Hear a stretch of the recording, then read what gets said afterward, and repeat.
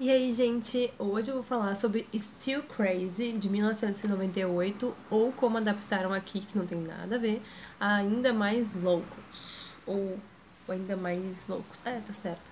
É um filme que conta com um ótimo elenco, com o Bill Nighy, e os outros eu não sei o nome, mas são atores conhecidos, tem o Timothy Spall também, que faz o Beadle no Sweeney Todd e o Rabicho no Harry Potter, pra quem não conhece. É um filme muito engraçado, só que o orçamento dele dá para perceber que é baixo, então não é um filme tão bem feito, mas conta a história de astros do rock de 1970, que eles, um, com a morte de um integrante, começa a se desmanchar a banda, daí se desmancha, e depois de 20 anos eles querem voltar. Aí que tá a história.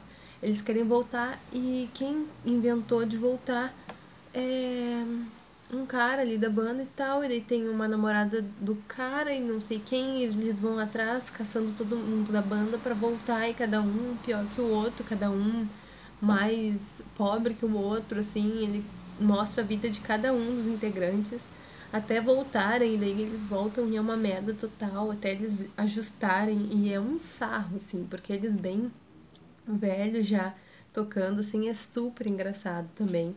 E tem algumas piadinhas, assim, mas não é um filme, assim, que se iguala a Rock of Ages ou uma coisa assim mais bem feita, né, com um elenco também bem mais requintado. Mas é um filme bom, assim, se tu for olhar para outro prisma, é um filme legal para quem gosta de rock. E daí eles tinham a banda e tal.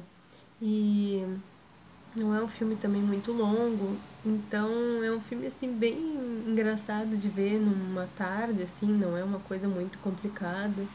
E é, no final tem uma grande surpresa que todo mundo fica, nossa.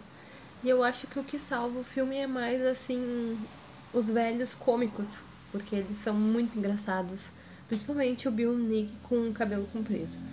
Vestido de vampiro, porque ele ficou muito parecido com o Chico Anísio de vampiro. Então, espero que vocês assistam e aproveitem esses filmes de rock que eu dou as dicas.